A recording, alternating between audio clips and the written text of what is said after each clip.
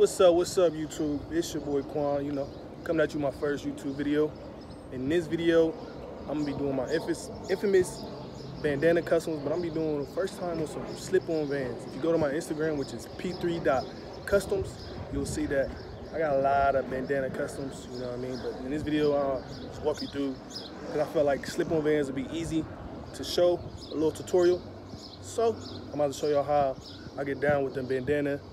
Feel me? I'm gonna do a baby blue, something a little subtle, you know, because you know how people is with the, the blue and the red. They like, oh, why not did it? So we're gonna be subtle with the baby blue. Start off with the materials needed. Nice size paintbrush, some Mod Podge blue label. That's the fabric Mod Podge. Um, then an X-Acto knife. Make sure it's pretty, um, a new one, sharp. You know, then some scissors, and then of course the bandana, then the shoes. Then you want to place probably the corner of the bandana over top of the shoe. That's where most of the print of the bandana is, and that's the front of the shoe. So you want to give it a most effect. And as you can see, I placed it over top of the Vans first, and I pretty much got all the way to that corner that's on the right and left side of the slip-on Vans, and then I uh, cut a little a slit to where I have to cut it, and then I go all the way down pretty much as far as possible, just a nice estimation. Um, then I took my brush and put the Mod Podge on top of the shoe, um, pretty much cover it pretty well. Um, you can go as heavy as you want, um, get all the way in the corners and stuff like that. And then I place the bandana back over top. Um, you get it as flat as possible. You want to use your finger to get the bandana in those creases, pretty much where you're going to cut the bandana at. Um, as you can see, that's what I'm doing here. Then I take the brush again, I go over top of the bandana uh, just to make sure it's nice and flat and then get um, more Mod Podge down in the fabric holes of the bandana. Um, and it makes it stick a little bit better. Um, and as it dries, it just adhere to that canvas um, material. And then it make a lot more easier cut, make your cuts a lot more clean. Um, and I cut off the extra a little bit just so when I go do go do my cutting around the edges, it just make it a lot more easier for me. And as you can see, I go over it again. Then we go to the back. Um, pretty much the same method. Um, I pretty much took an extra piece of the bandana and just put it on the back. It's a pretty large piece.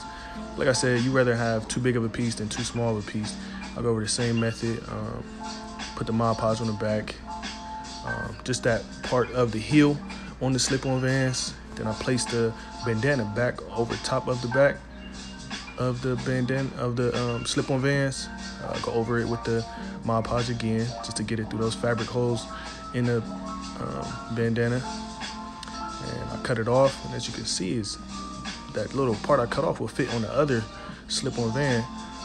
Um, we move on to the other shoe, do the same method. Like I said, make sure you put it over top of the shoe and you um, can fit it in those corners. As you can see, I'm making sure it fits in those corners, the right and left side of the slip-on Vans. So we're just doing the same method right here. Um, put a Mod Podge on top, nice and clean. Um, like I said, you can never use too much. Um, you don't want to pack it on too crazy, but you do want to pack it on nice. Um, these bandanas are kind of thin. They do sell some fabric bandanas that are thicker.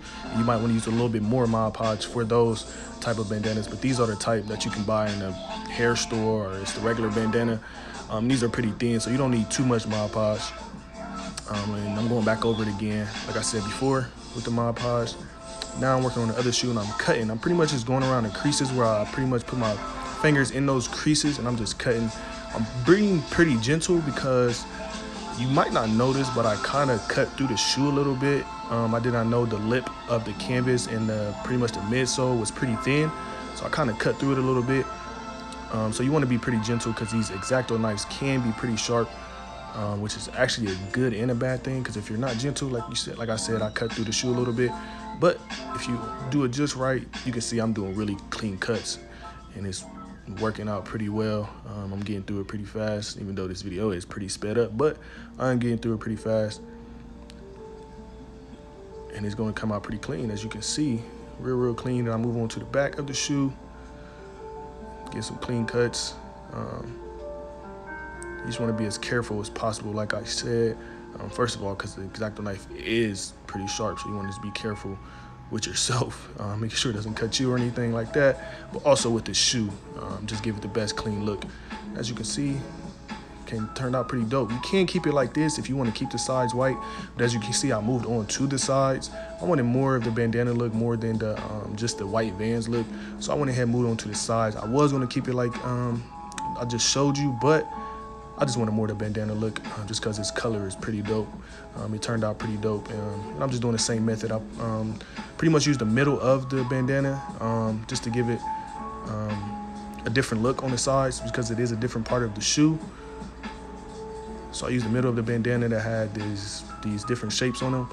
Um, I'm doing the same method. I'm just working on one side. And the back of the shoe actually has like this slit in the middle. I'm pretty much went off of that and you can work on the other side and it can just meet in the back in the middle.